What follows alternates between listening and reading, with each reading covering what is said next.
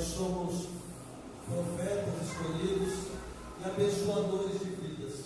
Por Amém. isso, vamos abençoar a vida da pastora Milena esta noite.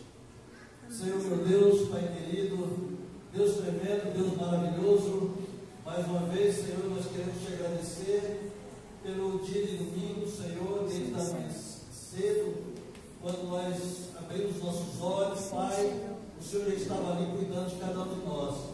Durante todo o domingo, Senhor, e aqui nós estamos, diante da tua igreja, da tua gloriosa presença, Senhor, mais uma vez, e te pedimos perdão pelos nossos pecados, perdão pelas nossas falhas, Sim, e que o Senhor possa falar tremendamente aos nossos corações, Sim, através da tua filha, a pastora Milene, nesta noite. Sim, Toda sim. seta contrária, Senhor, todo, Sim, sim. levante que foi levantado contra a vida dela, contra as nossas vidas, porque nós somos uma só carne, Senhor, mas já cai por terra, em nome de Jesus. E toda seta levantada contra a igreja, contra este ministério, contra a vida da, da pastora Dai, da pastora Tereza, Senhor, que venha cair por terra.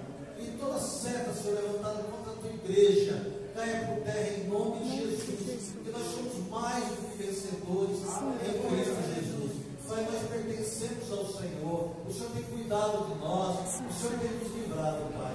Por isso, fala, Senhor, mais uma vez aos nossos corações, através da tua filha amada, em nome de Jesus.